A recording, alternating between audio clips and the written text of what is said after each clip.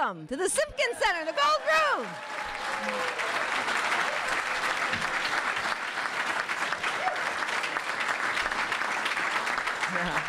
I, have, I happen to think that every day is a great day to be a Spartan, but today in particular is very, very exciting. Uh, really appreciate you being here. We want to welcome those of you that are watching uh, on the Mountain West Network, on Facebook, and on Twitter. Uh, but it's a touchpoint day for Spartan athletics. Uh, I'm going to introduce our president in a moment. She'll have some remarks, uh, and then we'll hear from Coach Brennan. Following the press conference, we'll be available for any individual questions that may be asked. Okay? Now, those of you who know me, I usually start presentations with a Spartan up at the count of three, and we're going to do that right now, right now. Okay? One, two, three. Spartan up! Great. Now, we all know, okay, that um, leadership is crucial to, to being successful in, in just about any enterprise. And I want to tell you how fortunate we are to have President Papazian as the president at San Jose State University, not just for athletics, but for our entire university. This deal today doesn't happen without her leadership and without her counsel. So I really want a sincere thank you to her. And I would like a nice Spartan welcome for President Papazian.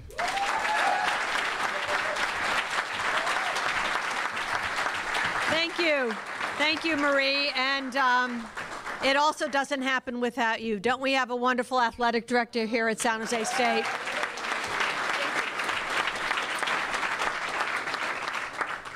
So when I came to San Jose State a few years ago, um, I was perhaps the seventh president in 10 years or 15 years.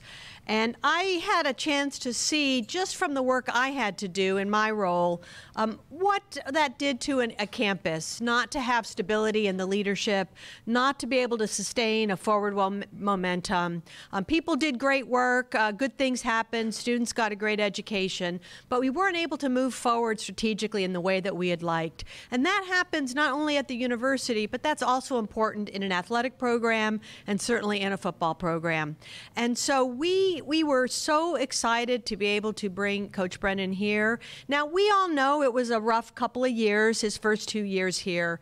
And um, some of you wondered about that and did we have the right guy? And I said from the beginning we did because it's all about character, it's about integrity, it's about engagement with our student athletes, it's about commitment to our educational mission, it's about creating opportunity and doing it with quality. The wins and losses are the lagging indicator. They come at the end when everything else is moving in the right direction. And what has really impressed me um, from the beginning, from when I first interviewed um, Coach Brennan uh, before he was was our coach, um, was a commitment to transforming the lives of the young men in his care. And uh, this is uh, something that has really, I think, shaped the work that he has done. It has also shaped the work of the entire coaching staff. And the entire coaching staff also gets tremendous credit for the way they have nurtured and helped young men transform themselves um, from, you know, just out of high school, sort of entering entering the challenge of uh, the university. Many of them the first in their families to attend a university, and developing and emerging as young men with confidence, uh, succeeding academically, moving toward degrees, moving out in the community and contributing contributing to the kind of inclusive community that we care about, one that lives by its values. And that is led by our, our head coach, but it is, it is really realized by all of our coaches. And I want to thank the entire coaching staff for their tremendous dedication and commitment to, um, to this program, to this university, and to the values that we all represent. Can we just have a round of applause to the entire coaching staff?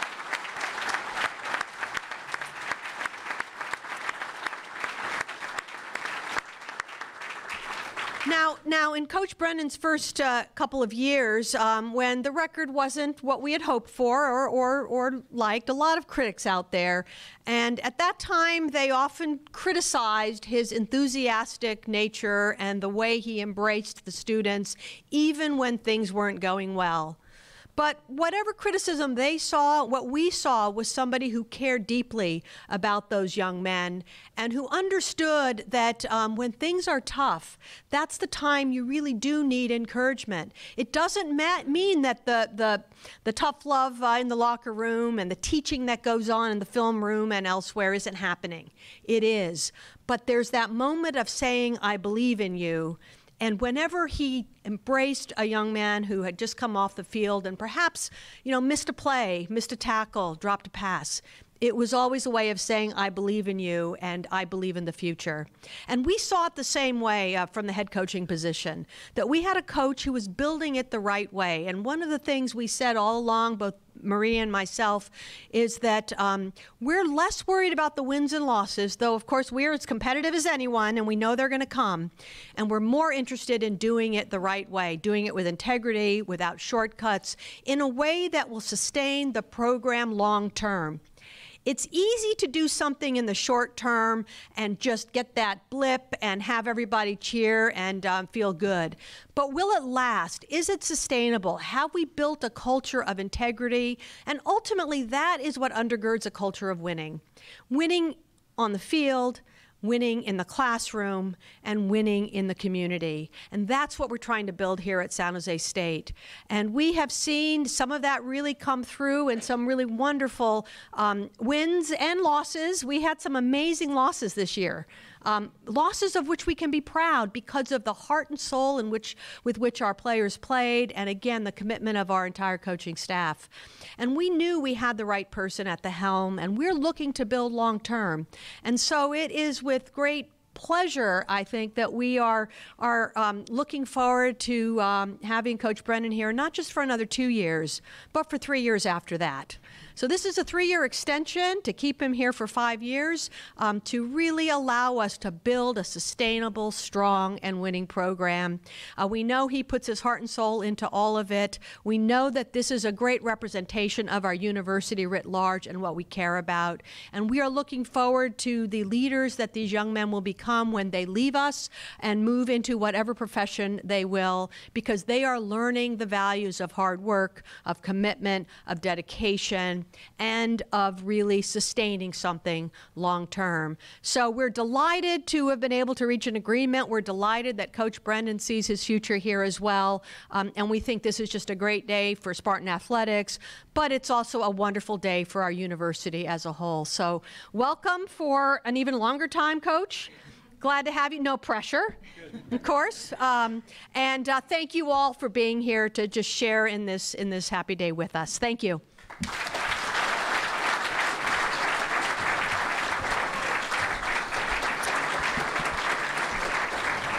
Okay. Um, wow. Uh, thank you so much, President Papazian, for those remarks. Um, there's a few things that you may not know about Coach Brennan, and I just wanted to share them real quickly. First of all, uh, he and his staff and his student athletes have a deep commitment to the other 21 programs that we sponsor here. And our football program shows up. They show up at soccer matches and they show up at volleyball matches and basketball games and water polo matches.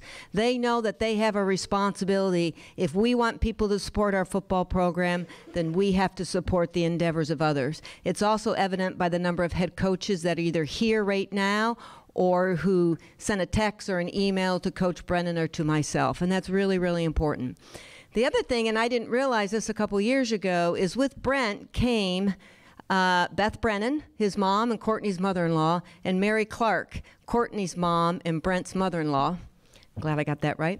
Uh, but, and with Courtney and Blake and Casey and Scotty and the entire Brennan family and uh, the Clark family, uh, there's this sense of energy around this building almost every single day. And it's been such a joy for me uh, to get to know both those families better. And I will tell you, no matter what the score is, uh, they are there to support us. And I think that's really been a benefit to our program.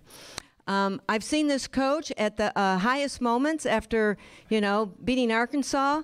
And uh, I spent time with them when, you know, we lost in five overtimes to Hawaii, which we are still not over. So that, and in such anguish and pain, I have seen this coach time and time again tell his players how much he loves them time and time again.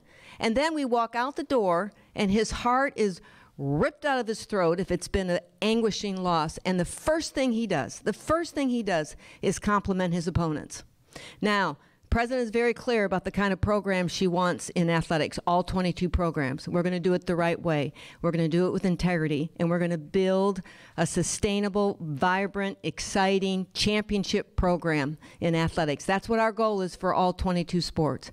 And I just need to tell you, I could not be more thrilled to know that Brent Brennan is going to be the champion of this football program for at least the next five years. Very warm welcome for Brent Brennan, please.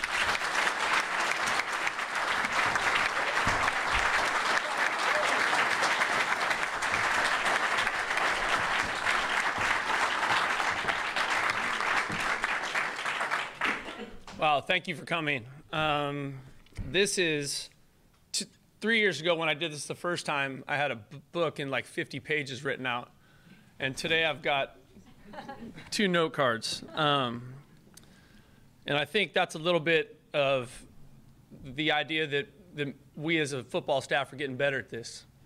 Um, first, I need to introduce my wife and my daughters. My wife, Courtney, my daughters, Blake and Casey. Our son Scotty couldn't make it because he's actually in school for the first time all semester and not traveling. not traveling with our football team like he likes to do, or hanging out in the locker room with Tre Walker and the rest of the wide receivers and Josh Love catching passes. But um, I am very lucky for this woman and actually all these women in my life because they keep me on a good path. And it's not an easy thing being a ball coach's wife. You guys have heard that message from me before. But every coach's wife that has lived this, or coach's husband, doesn't really matter the sport, they, they go through an insane amount of time by themselves, raising the family on their own. And so, love you. Thank you.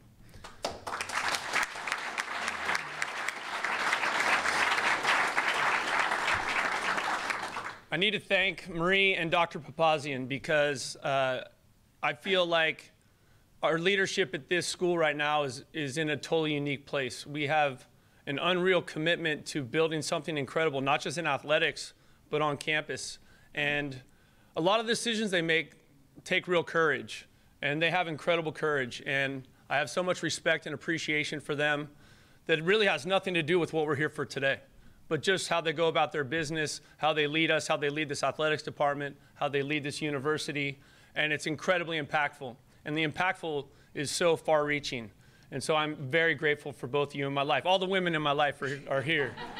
Um, it's like, told my wife I got some other women I need to talk to. Um, the other thing that's been amazing and over, and you know, overwhelming in some ways has been just the outpouring of support from the other head coaches on our campus. And I see a lot of you guys here today. Um, you guys have been so, this is really a unique place. And I think Marie creates that in our athletics department, but the other coaches on this campus, there's real love there. There's real support there. And I've worked at a lot of colleges and it's not, or universities, it's not like that all the time. And so there's incredible support. Um, obviously, football loves coming to your games and being a part of your process and cheering you on. And it's great for me because that's the only place I can go and cuss out the refs and not get a 15 yard penalty. But um, no, it's really awesome. And, and so I, I, appreciate all the love and support from the other head coaches and, and all the other coaches whether they're here or, or they've reached out to me in the last 24 hours. Um, it's really, it's really been overwhelming. Um, in three years, we we have a lot of exciting stuff happening here, and you know, I think the first thing that's in my mind the most important to me is just the academic progress. And I see all of our academic support team here, and we're really grateful for you guys because you are with the players more than we are, and you are doing work with them that is more important than the work we're doing. And, and it's so critical that they have the support and the guidance they need academically so they can build this life that we want them to build. It's such a big part of our process of building young men into men at San Jose State. And I'm so thankful for you guys. You know, every semester more 3.0s than we had the semester before. We'll see this semester. I see our dudes in the back. Pressure is on. it's finals week. They said they got it. Okay. Um, and then you know, the other part of that, we have Tobruk Blaine here, and she runs our Beyond Football program. And that's been an incredible process of developing that program and building it. And the people that are involved in sponsoring that, I'm internally grateful for. Um, for friends, family friends that I grew up with who, who helped us get that done. But Tobruk has taken that program and absolutely run with it. And it's helping our young men get an idea about what they're going to do beyond football. And it's really important. So I know that's been very valuable for our graduating seniors, and those freshmen are just starting to learn what it's all about. But I'm really excited about that program and where it's going uh, so far. I see our players in the back. Love you guys. Thank you for being here. You guys are awesome. And uh, I think we saw real improvement on the football field this year. And I think there's the good thing is that this football team is still hurting from the fact that we didn't get to the postseason. I mean, I don't know if that's a good thing, but it's still there because we were so close. And to me, that was just a real sign of progress. And the way they responded, the way our seniors led us in that last game against Fresno in a hurricane I've never seen before in Spartan Stadium, I, um, it was such a, a gratifying win. And to see them come back from three just really devastating losses, to me, that's a sign that this team loves each other, that our coaches love each other, that we are all in this together and we are fighting this battle every day to improve Spartan football and get it to a place where we want it to be.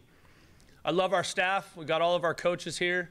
Um, these guys work so hard to be a part of our players' lives, to help them on their, you know, personal journey. Every player is different. Every player has a different story they're writing, and all of these men are a critical part in that process. You know, sometimes it's tough love, like Dr. Papazian talked about, and sometimes it's a hug, or sometimes it's a hey, get to class. But whatever it is, um, our coaching staff, we have really good people here supporting these players, and I'm very, very thankful for them. I love this university. I love these players.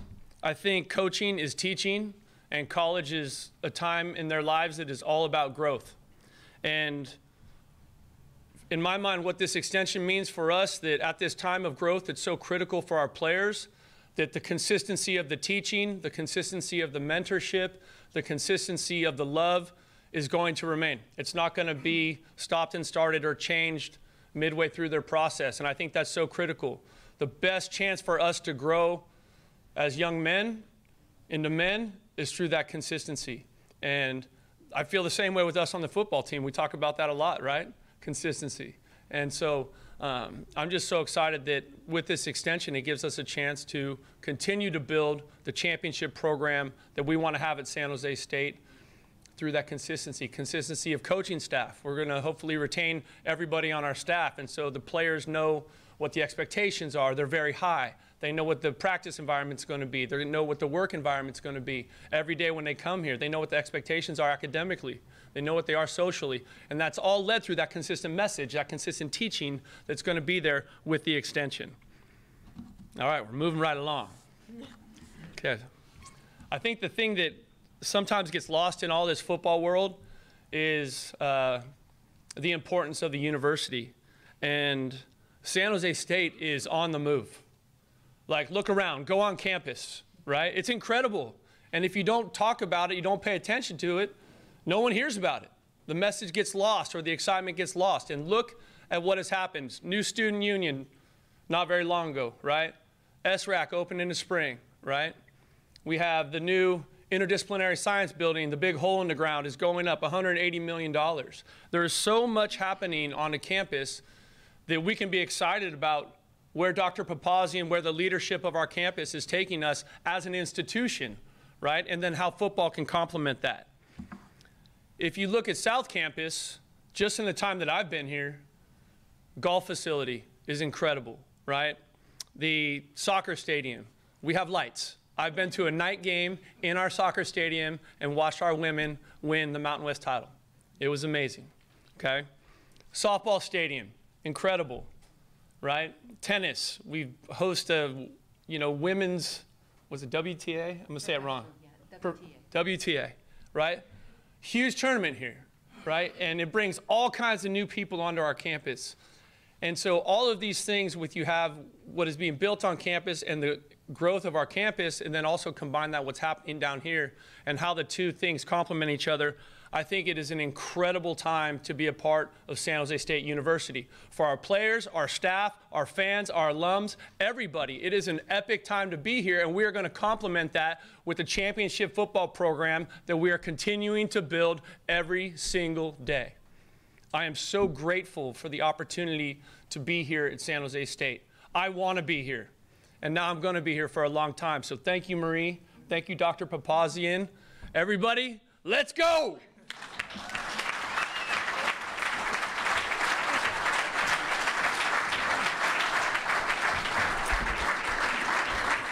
Okay, now we got some work to do. We got to roll our sleeves up, okay? And you may recall three years ago when Coach Brennan was at his press conference. Do you remember what he said about get off the bench? He said, get off the bench and get in the game. And he's talked about some of the exciting things that are happening on main campus and also on South Campus. We have a Spartan Athletics Center that we got to get built, we're working real hard. We're getting ready to do our ribbon cutting for um, our beach courts. We got a lot going on, and we need everyone to be all in, all in to help us move this entire athletics program forward. On behalf of all of us in athletics, I want to thank you. Thank you for being here. Thank you for what you've done to help us. Thank us. Thank you for what you will do as we build the future of athletics at San Jose State. At the count of three, Spartan up. One, two, three. Spartan up. Thank you.